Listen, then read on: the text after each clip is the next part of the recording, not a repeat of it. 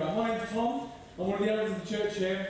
And uh, for the last few weeks, we have been doing a series entitled Love Canterbury, which has really been about us aligning our hearts as a people with God's heart for this mighty, wonderful city. Who here loves Canterbury? We all do. It's a great place. Or one of the, if you live in one of the villages or towns around Canterbury, I'm sure you love those just as much. But you get the point, is that God has been aligning our hearts as a church with his heart for mission to the people around us. That is communicating the gospel, that's the good news of Jesus Christ to the world around us.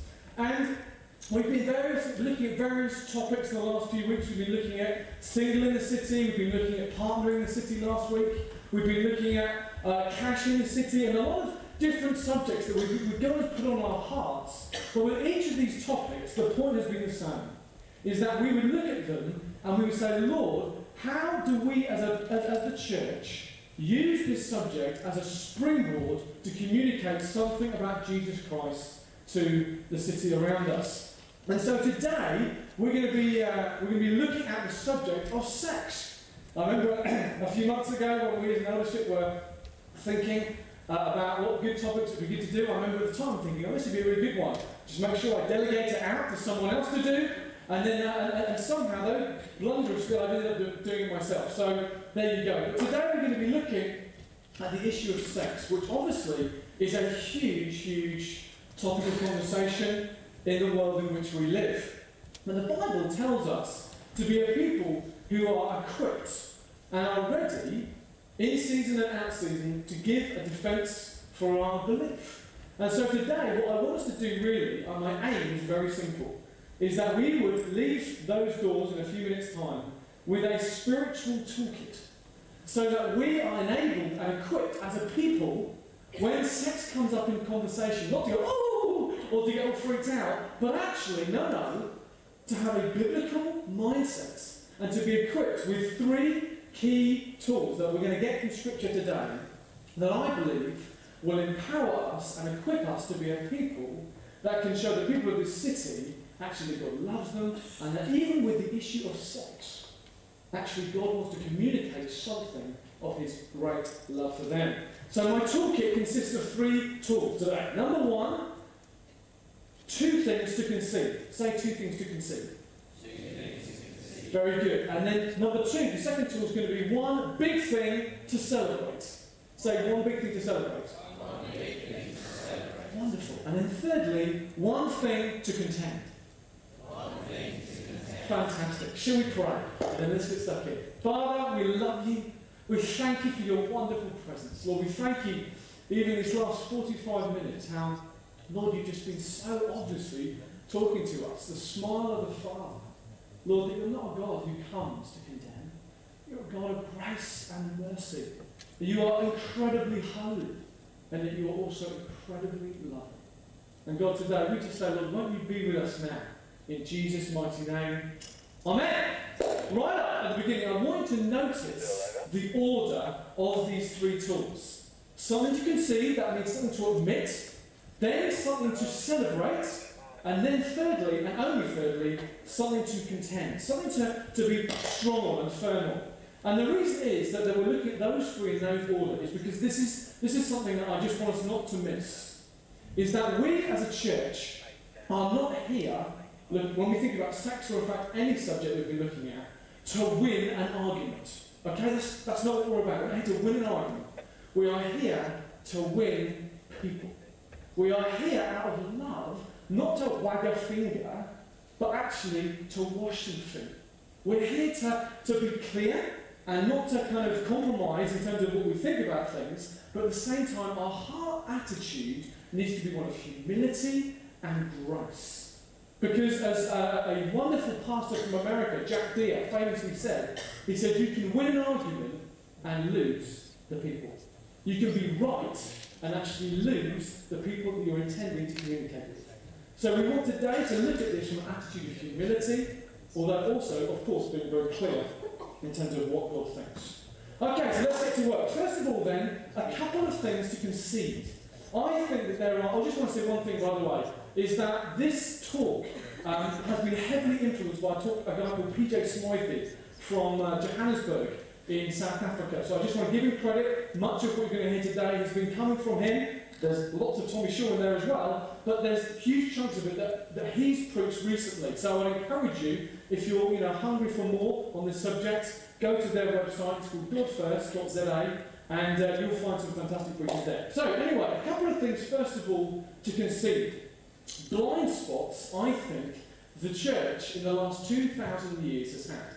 Number one, I think it's fair to say the church has been a little prudish. A little bit prudish when it comes to the whole issue of sex. I see a lot of you nodding immediately. What am I saying there? I'm saying this. I think we have to just admit and humbly admit the fact that actually the world generally has been more open and more, more quick to talk about sex than the, than the church. And some of you may go, absolutely right, totally. But actually, the point is this, is that if we, as God's people, we actually we weaken ourselves if we don't communicate about the good stuff that the Bible has to say about sex. If we only are known as finger waggers, then the problem is, is that actually we are not communicating the whole breadth the Bible has to say about the positive thing that sex is. You know, the church can appear irrelevant because we make ourselves irrelevant. If we never are those that communicate about this subject, then actually we will be seen, and I think often are seen, as somewhat irrelevant when it comes to subjects like this, because we never actually are proactive in coming to the table of discussion with talking about positive things rather than just known as the people who hate abortion, for example, which of course I'm not condoning, I'm it's absolutely uh, an awful thing. But that God wants today, I believe, to put in us a breadth, a breadth of understanding about sex. Not something to be ashamed of, not something that's all kind of, you know, oh, how embarrassing, but actually something that God's made, and actually wonderfully, as we're going to see, can be used to communicate to Him. You know, the fact is that the church has been a place where we have not been talking about the things that the biology teacher talks about to kids that are young. You know, and so we appear by silence to be often condemning something. You know? The biology teacher will say such words as boys have penises and girls have other things. See, I can't even say it. And your body language is speaking volumes. I think we've got some work to do today. It's true though, isn't it? We just go, oh, Tom, don't say that word. don't say the other word, whatever you do. But in yet high schools all across this land, people talk about it as if it's a normal part of life. We have some work to do. We have to be prudish. So we must ask ourselves the question, where or where has this prudishness come from? Is it biblical? Or is it actually from somewhere else? And I think there's two key places historically this prudishness has come into the church. Number one, the, the sad fact is, is that very early on in the early church, even the first century, is that many of the early Christian churches actually got themselves involved in horrendous sexual immorality.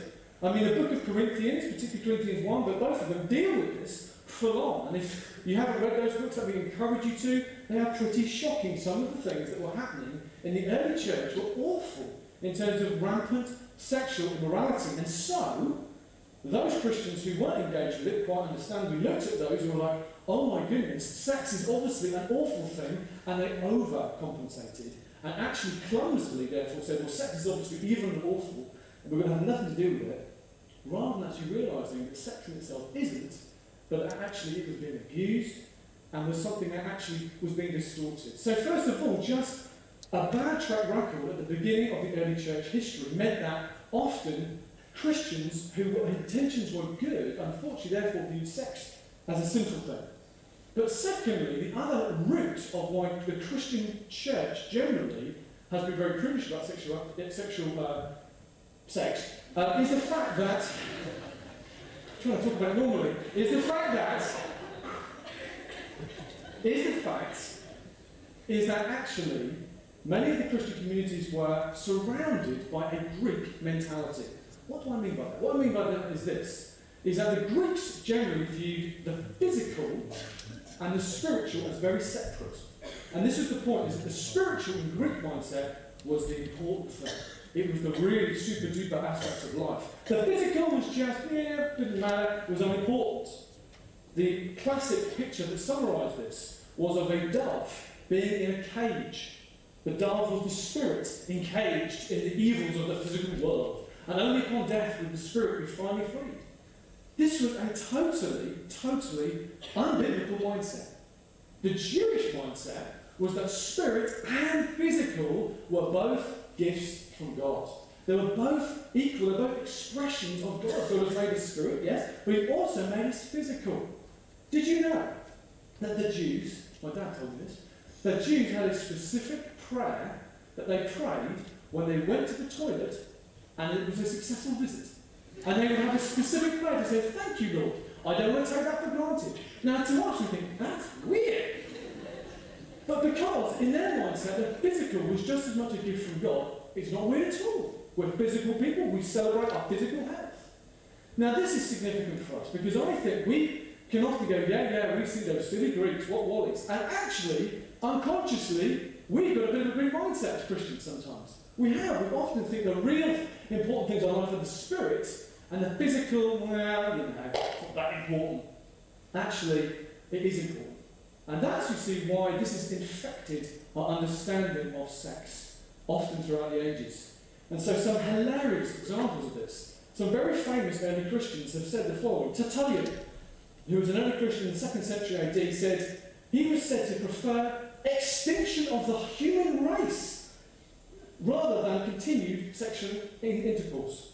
Origen, in the 2nd century, was so convinced of the evils of sexual pleasure, he not only allegorized the Song of Songs, but he also took a knife and castrated himself. Oh, Origen.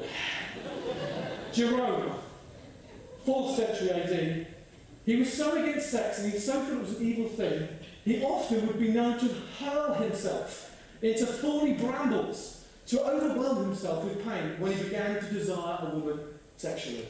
Oh, Jerome. We're growing some of our bramble bushes outside, for those of you who are struggling.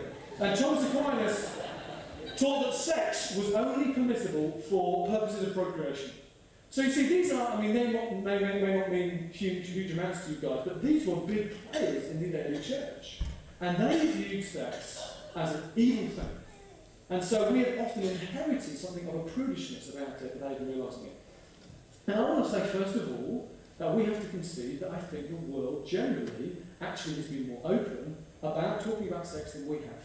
So, for example, in uh, the October edition of the Times, I read recently that sex education now is now going to be, in 2010, a compulsory part not only of secondary schools, but of primary schools as well. Now, they did, they did define what they're going to be talking about at different ages, and I think actually it seems uh, much more you know, appropriate than when you first glance at it. But they said, for example, that for five and six year olds, they will be talking about their body parts. Actually, in a way that means that it's not all kind of weird and creepy, but actually going to be talking to our children, if you have children who are young, about these things.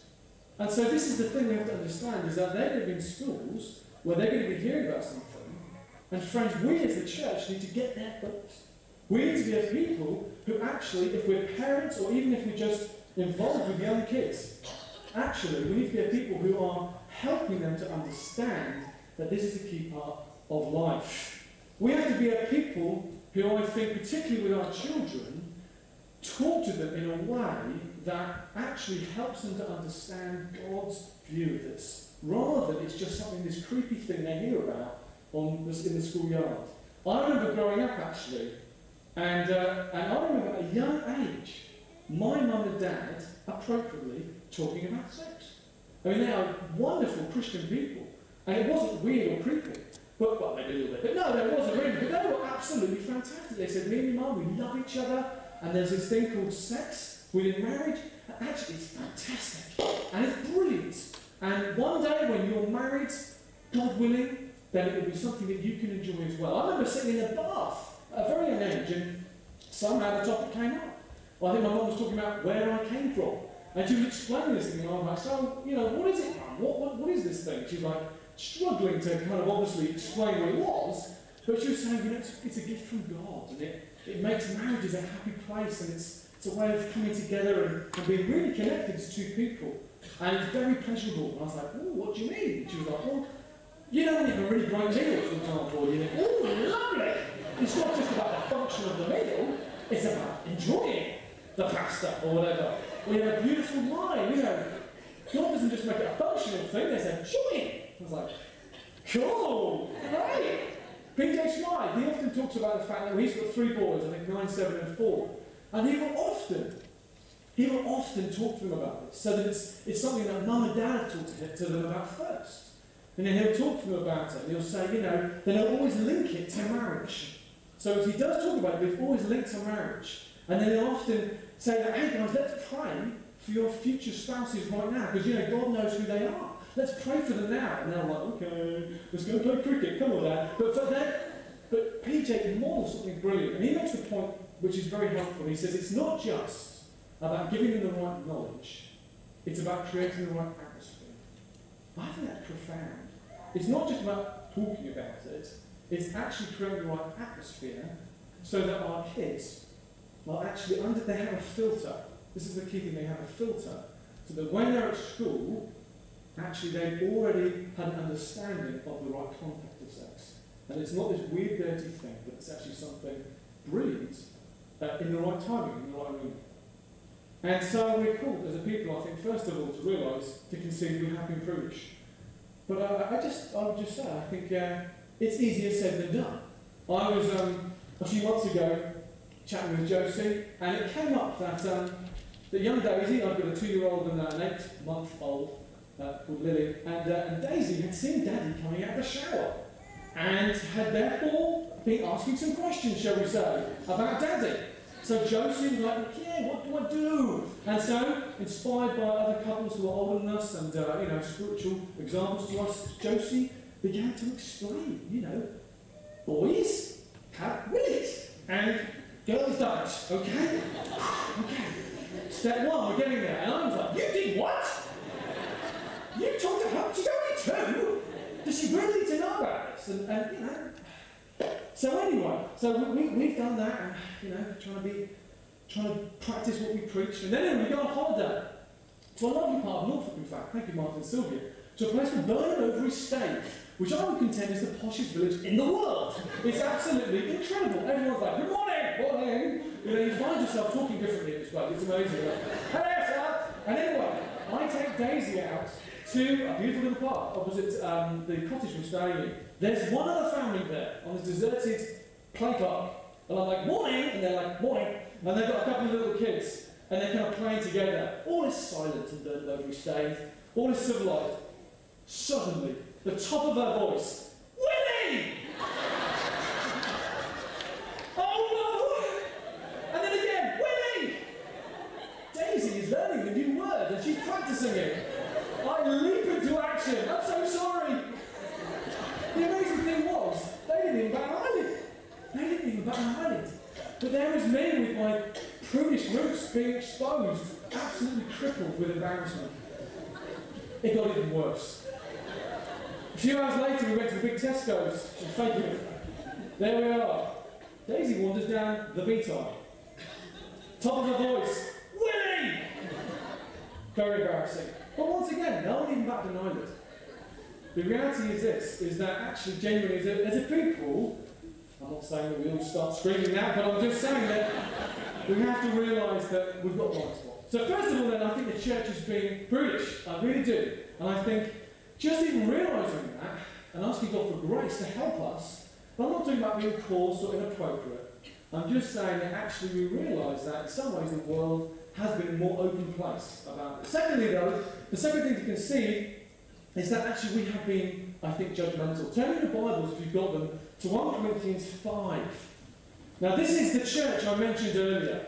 The church which unfortunately was demonstrating, as well as love for Jesus, it was demonstrating awful sexual immorality.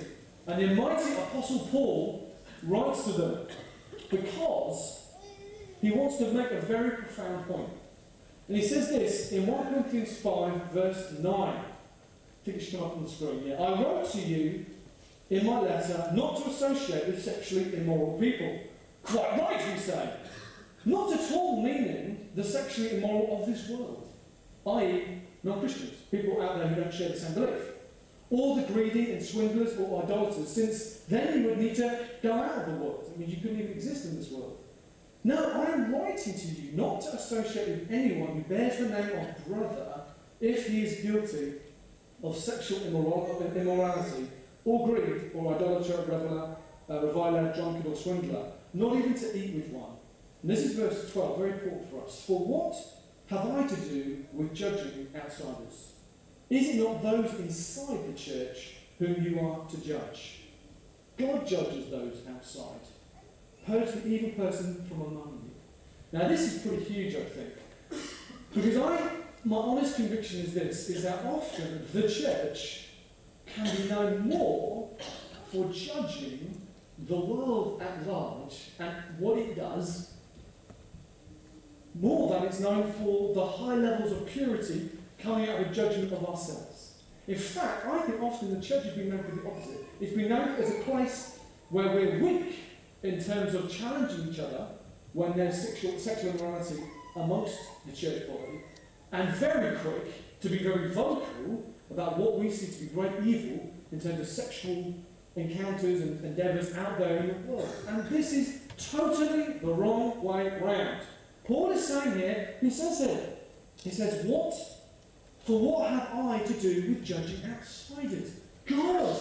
That's God's job. We're not called to be those that are known as judgmental, and yet that is exactly, tragically, what the church has been known for. Turning your Bibles to John 8. It's amazing, this was quoted earlier on by someone in the worship.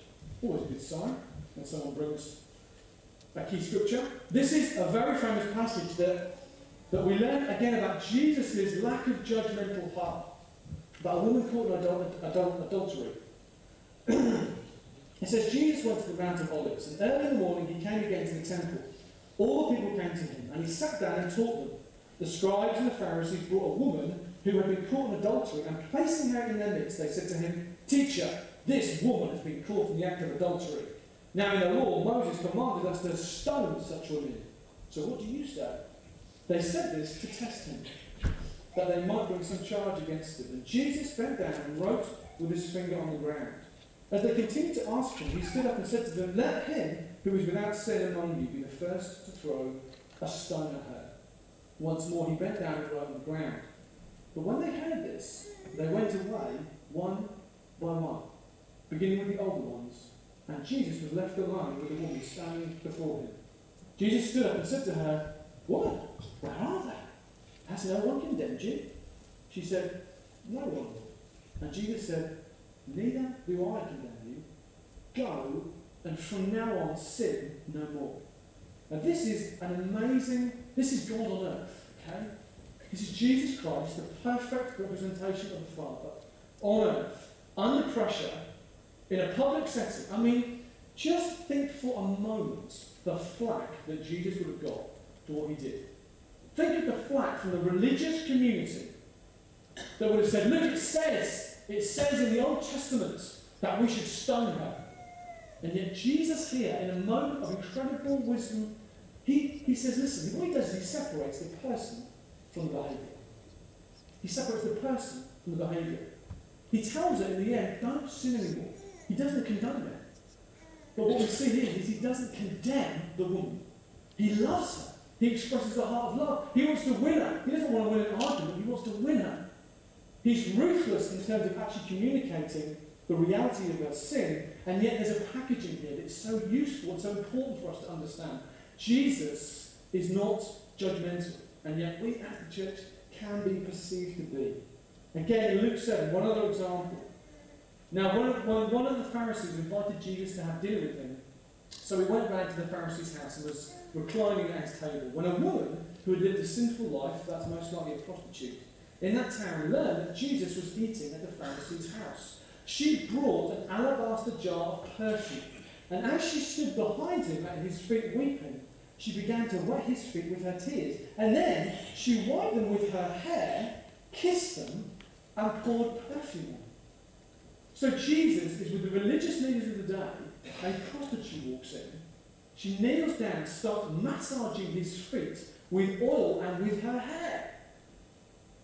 I mean, come on. This would have been super frowned upon by those around him. And yet, Jesus, we see here, treats her with great love, and there's no ounce of judgmentalism in his heart. Friends, my passion and my desire is that as we as a church, more and more in these days, start to genuinely connect with the people of this city, my absolute passion and desire will be that there will be people who come into this place who have had very exotic lives, shall we say. And yet when they come in, they would never sense even an ounce of judgmentalism. Please say amen. Amen. Our hearts would be, listen, man, there but by the grace of God go I. Who here can throw a stone at condemnation? No one. None of us can. It doesn't mean that we say, oh, your lifestyle's fine. No, no. But this is the key point, is that we are not known for the, for the latter rather than the former. We need to be a people who actually concede both that we have as a church being prudish, but also that we have been judgmental. Do you know, I want to say this, is that I think even just those two first elements of that first tool are so powerful. When we connect with people who aren't Christians, if you're not Christian here today, even you hearing us talking openly and honestly about the church's weaknesses, I hope shows you that actually we can come from a place of humility. But secondly, I want to say the second key tool for us as a people is this, is not just a couple of things to concede, but one big thing to celebrate. Namely, sex itself. The world out there massively, massively is intersex. I think we can fairly, you know, clearly agree with that. You know, you want to sell a car? You have a woman in a bikini next to it. Well, of course, you know, you want to sell a, a photocopier? Well, you have a, a half-naked woman. Yeah, the world is into, is into sex. It thinks sex is an amazing thing. It has a very, very high view of sex.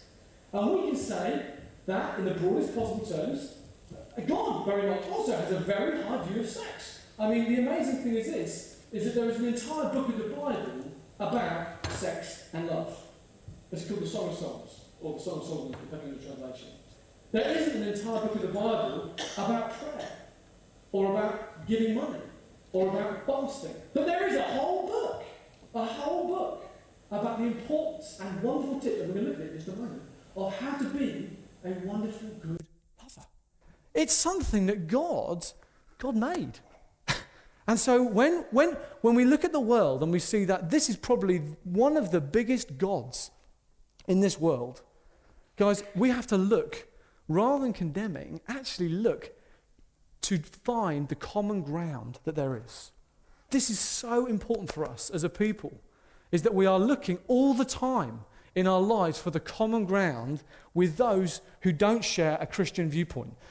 In Acts chapter 17, when the Apostle Paul entered Athens, it says that his heart was broken because the place was full of idols. But then what we see is this is that then when he starts to actually engage with the people, it's not that he comes in screaming condemnation and anger, but we see he says, I can see that you are a very religious people. And in a broad sense, they were. It's just that they weren't actually worshipping the right God. Now, you see, what Paul was doing here was this he was looking for common ground. He was saying, actually, you, in a broad sense, believe in God or gods, and actually, so do I. And that's great, isn't it? There's a common ground there. But I just want to now bring to you your attention this Jesus. But his heart was one of wanting to find common ground. And I think we, we can underestimate the importance and actually the, the huge power of being a people who aren't known for throwing rocks at the world, but are known actually for celebrating sex as much as the world does. I remember um, I became a Christian about 10 years ago, and I remember then going into my second year of university, and some of my non Christian mates were like, So, you're a Christian. So that means, does that mean that you can only have sex in marriage? And I was like, Yes, it does. And they were like, wah, wah, wah, taking the mickey out of me. I would say, Look, I will share your high view of sex. I will share with you the, the fact that in your life it's a very important thing. And I would say also, I think that undoubtedly, I'm sure sex will be a wonderful thing. But I'm going to wait until the day when I'm married. So, as far as I could, It was finding the common ground rather than saying, I don't understand why you're so into this thing. No, no. Listen, God has given us this gift, but it's the context that's all important. And I also want to say this is that we mustn't underestimate, if you're a Christian here today, how connecting love and romance and sex and marriage with God, how powerful that is, actually, in terms of communicating the reality of a creator God. This is honestly true. When I was considering being, becoming a Christian, I was an atheist, age 20, and I was thinking about this Christianity thing. I've been to this city church, bit weird, a few times. So then I checked it out. I'd heard about Jesus and I'd heard about the cross and about resurrection and interesting. But the thing, bizarrely, perhaps, but not bizarrely, the thing that actually, for me, again and again, came back to me as the most powerful signpost that there was a creator God was actually love and romance and sex. The fact that men and women, who from one perspective are actually pretty similar, but actually we see ourselves as so different, and that this weird thing called falling in love would happen, and then bizarrely the other person would then fall in love with you, and then at some point you may end up having a kiss, this amazing thing, and then, you know, kissing tends to lead to other things, and and this thing called sex would happen, and and that there would be, you know, the right bits and bobs to make it happen, and then when it happens, sometimes a baby would be born in the woman's tummy, and it would be like the right environment. It'd be amazing that there would be of this space would, you know, would, would happen so that a baby can be born, and then the baby would come out, and there'd be this like mini person who's like, but you know, and it was just this chain of miracle after miracle after miracle after miracle. And it sounds we get used to it, but for me it was like this, this, this cannot be a coincidence. This cannot just be a fluke of, you know, cosmic proportions. For me, that, you know, I'm a simple guy. Just those, those chain of events were for me almost the most compelling thing. I mean, the gospel was brilliant. But for me, these things were saying, Tom, there's a designer. This world isn't just a fluke, it isn't just an accident.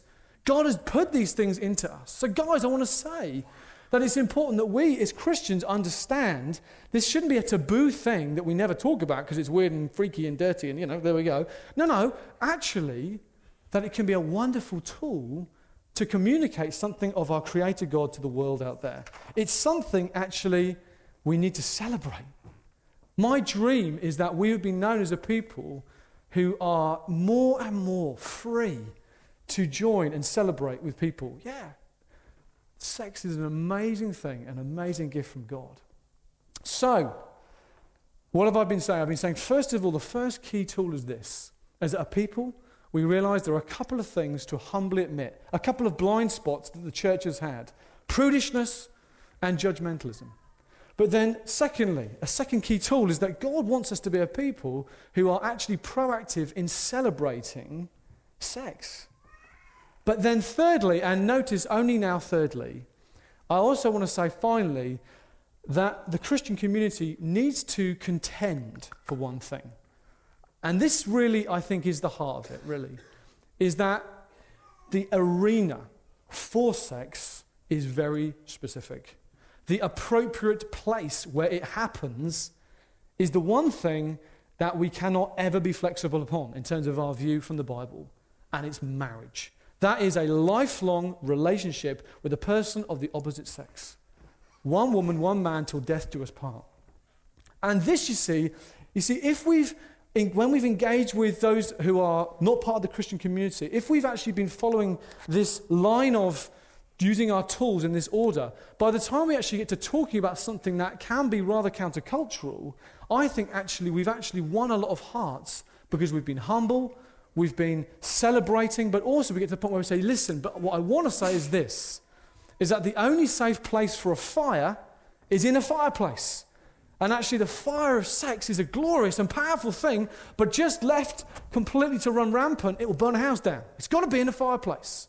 God gives us rules not to be a meanie, but actually because he's a loving father. I wonder, could we show the video? I've got a brilliant video I want to just show. Is that, is that going to work? Okay, just one second. This is a video of an interview between Woody Allen, this is in the late 60s, so the quality is not brilliant, hence getting darker and darker. Um, between Woody Allen, a very funny guy, well known atheist, and interviewing on his talk show Billy Graham, a very famous Christian. And they're, they're friends, but in, the thing I want you to notice is that they almost brilliantly represent the world's view and God's view.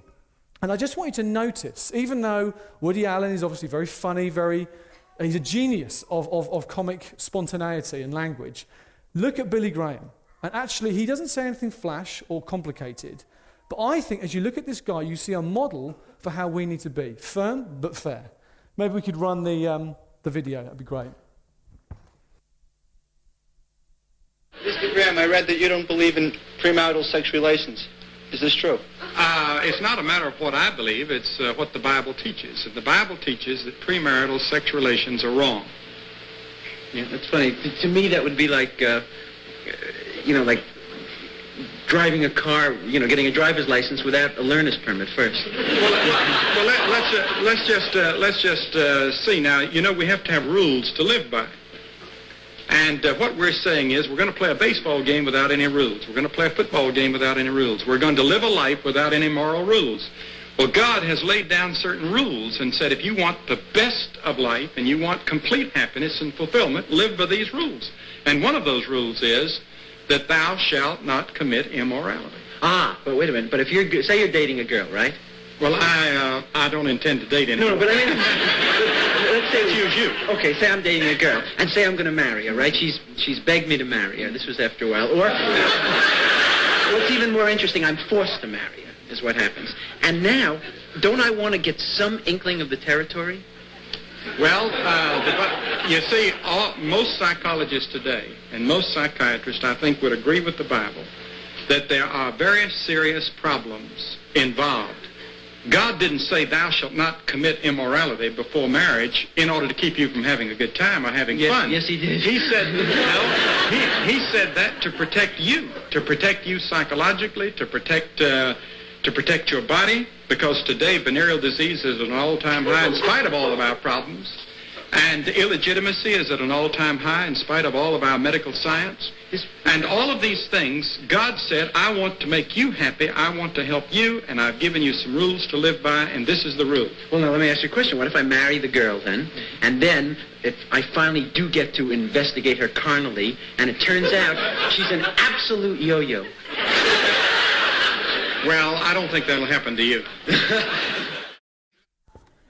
It's, it's a strange thing when you watch it, isn't it? Because he's hilarious, Woody Allen, and he summarizes, I think, the kind of conversations we've all had with people and the kind of human logic that can be applied, which kind of makes sense. But what I think comes through, and obviously in that clip, Billy Graham, although he talks about living by rules, I know any of us here who are Christians would say ultimately, you know, we don't live by rules, we're living by grace, we're living out of relationship with God. But his point is still very powerful. And that actually, we, I think, as Christians, can talk about sex in the context of marriage in a way that Billy Graham just modeled. Actually, that we can be a people who, when the world, for example, says, one of the big arguments that Woody Allen kind of touched upon was this, is that surely, you know, playing around before you get married is a harmless thing. It kind of gets out of your system. Actually, we need to be a people who say, no, no, no, listen, it isn't harmless, actually having sex outside of marriage isn't harmless. Galatians 6 7 says, Do not be deceived. God will not be mocked. For whatever you sow, you also will reap. You will reap. And the reality is, as Billy Graham touched upon there, there's a whole load of different ways one reaps negative things if you engage in sexual union before marriage or during marriage with someone else other than your spouse. One of the most heartbreaking things, obviously, in the world at the moment, which takes a Woody Allen type of view, one of the most dramatic consequences is that of unwanted pregnancies. The statistics are unbelievable. I was just looking on, on, online, and in America alone, every year there's 2 million, 2 million abortions. And percentage wise, about 1% are due to rape, 6% are due to genuine potential health reasons, but 93% of those abortions are due to social reasons, i.e., basically the kid isn't wanted. So, what I think we have to understand is this, and this is a serious thing, is that actually, is that sex does have consequences. And that's why God, in His grace, His desire, His design, is that it should be within the safety of marriage. The world would say, well, Tom, what about sexual compatibility? Again, Woody Allen kind of touched upon that, didn't he? The whole idea of almost taking a car for a test drive, you know, to see whether it's, you know, whether it's the best thing. And the world has such a consumer mentality that sex is put in that category as well. Well, you know, you've got to surely, you know, one partner for life is insane. Surely you've, you've got to see whether you're, you know, you're sexually compatible, whether actually genuinely that person is going to be a good enough lover for you to actually have a whole life with them. Reality is this the Bible is pretty clear and pretty releasing. Do you know what? It says, in essence, this none of us are compatible. none of us are. There's not one special person who, if you find that one person, then you will have a trouble free life in all areas of your marriage, including sex. We are all weak people. We're all people who, at times, are very difficult to live with generally, and even in terms of our sex lives, can be very, very selfish. And this is a huge, huge thing is that when we talk about, and the world talks about a, a, compa- a, um, a, a compatibility thing, when you really unpack what they're saying there, is really, is am I getting the best deal? You know, just as I would, I want to get the best deal when I'm buying a car or a house or whatever. When it comes to sex, it's the same kind of thing. And what we have to understand here is that we can unconsciously, if you're a Christian even here today and you're married, we can carry that selfish view of sex into our marriage as well. We can actually secretly think it's still about what the pleasure that I get, rather than realizing that actually, of course, in God's grace, there is great pleasure within it. But actually, like all areas of marriage, we are called to serve each other. It's amazing. In Ephesians 5, it says this. You might want to turn there if you've got a Bible. Ephesians chapter 5. Talking about marriage.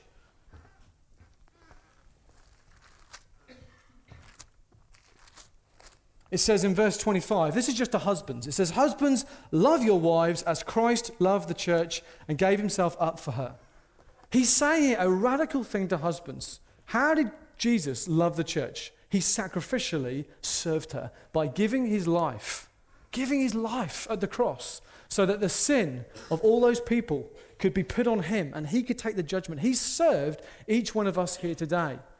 And this is the amazing thing about marriage and indeed, therefore, about sex as well, is that marriage is meant to be a signpost to the world out there, indicating something of the incredible relationship that God desires to have with every single person in this world. This is a quote from P.J. Smyth. He says, he says, God invented marriage to act as an advert, a visual aid, a kind of mirror to reflect and reveal something of the marriage like relationship that he desires to have with every person. He goes on, he says, When I was 18, I had some good friends called Pete and Caroline, and they just got married, and I envied their amazing relationship. I was chatting this through with an older pastor. They, I said, They're so lucky they can be together 24 7, and they're the best of friends. John replied, Yes, marriage is amazing, isn't it? But it's not as amazing as the relationship that you and Jesus have. He is not only with you 24 7, but He is the perfect partner and friend, loving you unconditionally forever. I'm now 34 and remember this conversation like it was yesterday because a good marriage had taught me something about Jesus' love for me. What an amazing advert marriage can be for Christianity. He says, There's one final thing. He says, Now please put on your fake horns and pretend that you are the devil. You exist to prevent people from becoming Christians. So, this marriage business is a major problem for you. You want to do something in your power, everything in your power, to mess up the advertising campaign of the opposition. So, you try to turn it around so marriage is actually a bad advert for a relationship with God rather than a good one. Why are so many marriages, why do so many marriages go through such difficult times? I think one of the key things is that Christians, we have an enemy. There is a real enemy who works hard at trying to make marriages break up. God loves marriage. He loves sex, which lies at the heart of marriage. And we have an enemy who will try every means possible to get in there. Why? Because it's a God ordained way, marriage, of reflecting something. The love that the, that the man and woman have for each other is meant to be a picture of the love that Jesus and his church have for one another. So, when we therefore come back to the original question of, being, of, of the world saying, well, marriage and sex is crazy because what about finding someone who's sexually compatible? Actually, as Christians, we say, no, no, no, you have to understand this in the big picture of what marriage and therefore sex is actually about. It's meant to be a picture, a mission picture to communicate something of the incredible relationship and love that our God has for his people. It's amazing. It's amazing. When you understand sex as part of that, suddenly we realize that actually it's an amazing mission opportunity to communicate the love of God for us. There's one final thing I think ten, we tend to hear, I think, if we're Christians, that the world will tend to say about sex and marriage and why the two, you know, will be this is that it's unrealistic, it's naive to think that being with one person for the rest of your life could ever be sexually satisfying. Surely, surely, sex within marriage just gets boring. You know, surely you have to have multiple partners over your whole life in order for it to be something that remains exciting. This is a, a very, very common view. It's interesting, statistically. In The Guardian, they did a survey and they said eight, and they found that 86% of married people were sexually satisfied whereas 70% of singles weren't. Those singles obviously would have been those who were free to have as many sexual partners as they wanted. So even the raw statistics don't actually back up what many in the world would believe. But we as a people, and this is our final point today, we have to be a people who are thoroughly convinced that God's passion, if you're a married person, is that your sex life, quite simply, would get better and better and better and better. Even though the world out there might think, oh, that's crazy and naive, actually, I know that we might think, well, that's a bit weird to think about, but actually, God wants to bless the marriages in this church so that with confidence we can talk about that to those who don't know Jesus and actually prove that God is so amazingly able to do that. I was at a dinner party recently with some people, some Christian friends, and everyone was just looning around and it was all fine. And one of the couples who was a bit older than us, we ended up talking about sex somehow.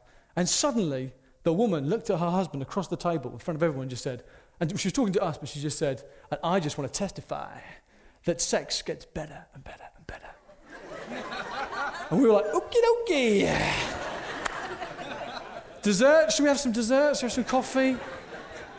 It's a bit weird, but I have to say, fantastic. Fantastic that's true, and fantastic that she felt comfortable to talk about it. It's a little from left field, but you know, actually, the reality is, praise God. One last scripture to look at. Let's look at so- the Song of Solomon's, chapter 7. Turn in your Bibles, it's right in the middle. A Song of Songs was written by a guy called Solomon when he was a pretty young man. And when you read this book, scholars disagree whether it's about Solomon and one of his wives, or whether it's about a shepherd and a shepherdess, and whether at which point in the scripture they get married and all that stuff. I think the reality is we don't really know. But what this is telling us in a broad sense is this, and it's a wonderful toolkit for any of you who are married, is it's, it's, it's showing us that sex and romance are at the heart of who God is. God is someone who's made it. He's someone, God, who, who delights in it. And He wants to help us to become better lovers. Hallelujah. We see in chapter 1, for example, we, we see the whole thing of kissing. It says in verse 2, it says, Let him kiss me with the kisses of his mouth, for your love is more delightful than wine. Hallelujah. We see then in chapter 2 the whole issue of touching and that stimulation. And then in chapter 4, more along those lines. And then we get to chapter 7, and things really start to get a bit steamy. This is in the Bible. It says this it says, This is the guy speaking. Guys who are married, take note. I love this. How beautiful are your sandaled feet, O prince's daughter. You have wonderful feet. Your graceful legs are like jewels.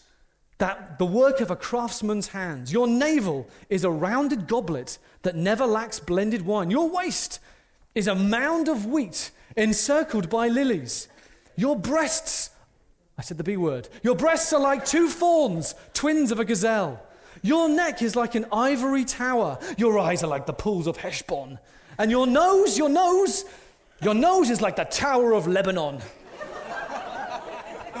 Interesting. Try that one, guys, tonight. Your nose is like the Tower of Lebanon, my love.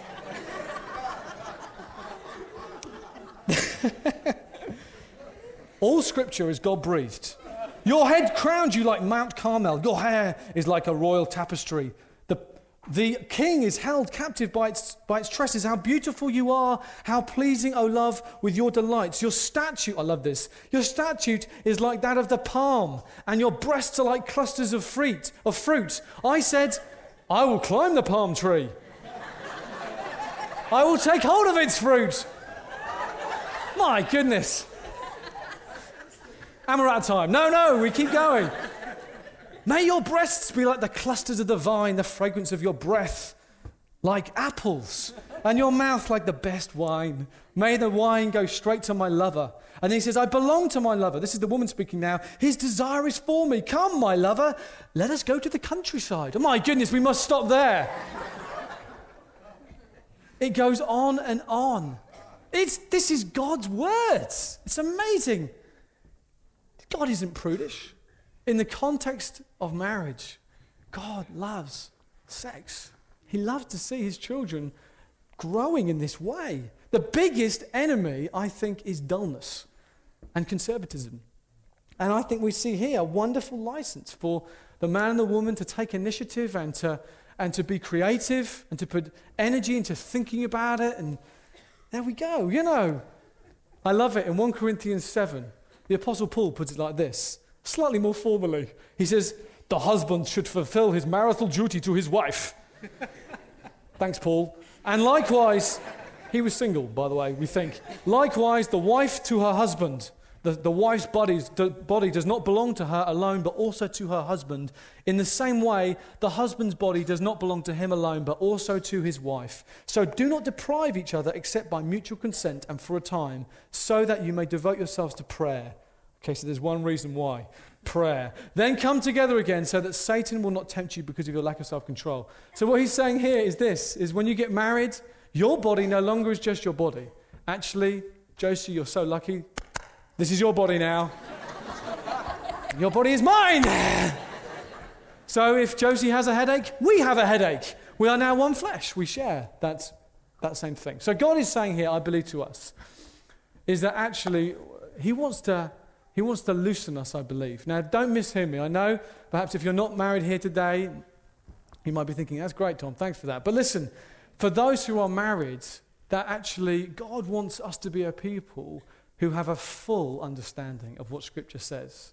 And that we can be confident, I believe, as we engage with those who have a different perspective on life to us, that yes, as, as the church at large, we have at times been prudish and judgmental. We've also at times been a people who have, who have lacked sharing the common ground of celebration that actually sex is God's gift.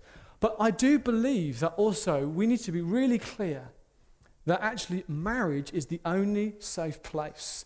And that actually it's not naive to think that you can have a sex life throughout your marriage that gets better and better. God's word compels us to conclude that as long as husbands and wives were looking to serve one another, endeavoring to understand that we are different, very different, and therefore we need to serve each other in terms of understanding that. Nevertheless, God's passion is that actually his church would have marriages that are wonderful places to be. Let's pray. Father, Father, we love you so much.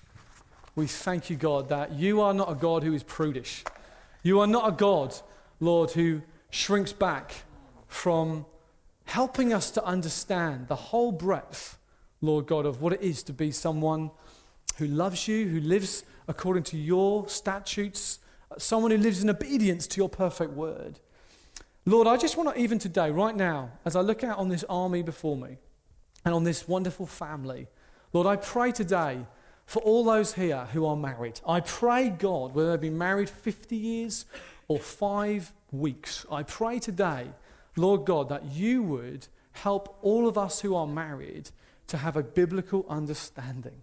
God, that we would not be selfish, we would look to be selfless. Lord, we would be look to be a people who are all the time, Lord God, realizing that this is actually a spiritual thing, that there is a spiritual dimension to this. We have an enemy who wants to bring down marriages. I pray even now for, for marriages. If you're married here, just pop, can you just put your hands in the air? I just want to pray for you now, even now. I just pray now for every marriage in this place. I pray, Lord God, that even now you would just free these guys to have wonderful fun together. I pray for romance romance to come, Lord, all over these people. I pray they would just be a people who more and more, Lord God, even if they've been married for a long period of time, it'd be like that first day that their eyes met. Lord, I pray, I prophesy over this church. Keep our marriages strong, Lord. Lord, we do have an enemy. And and Lord, we have an enemy who is not stupid. He understands that if he can, if he can attack the area of sex, he will attack the, the, the, the, marriage itself and families. And I just pray now, Lord God, Lord, would you help us to be a people who grow, Lord God, in terms of understanding all that you'd have for us. Lord God, I pray, bless these marriages in Jesus' name. Jesus' mighty name, amen.